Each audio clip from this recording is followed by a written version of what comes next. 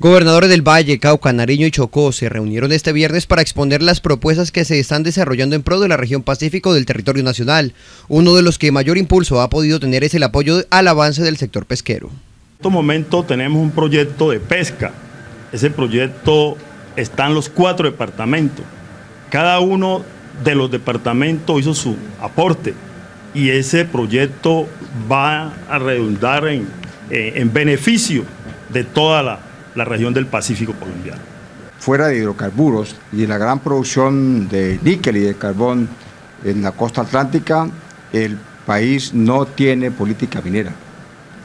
Por eso el territorio del Pacífico es eh, un desastre ambiental y ecológico eh, conocido por todos.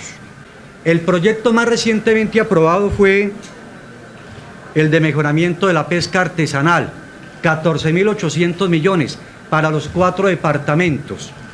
Eso que busca conformar una cadena pesquera y acuícola que no la tiene el país, la va a tener es los cuatro departamentos de la zona Pacífico. Durante esa reunión los mandatarios reiteraron su apoyo al actual proceso de paz por ser sus regiones víctimas del conflicto armado. Todo el Pacífico, nosotros no nos podemos excluir del tema de, de la paz, porque el Pacífico colombiano es uno de, las regiones más golpeadas por, por, la, por el tema de, de, orden público y que nosotros somos los que tenemos que abanderarnos del tema de, paz y reconciliación en este país.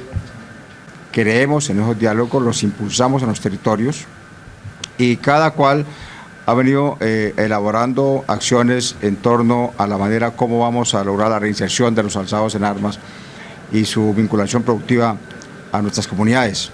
Los gobernadores señalaron que estudian las diferentes alternativas para brindarle a los guerrilleros una desmovilización y una reconciliación de manera segura y efectiva. Asimismo, se expuso que el plan a presentar al Gobierno Nacional para el impulso económico de la región necesitaría una inversión cercana a los 40 billones de pesos.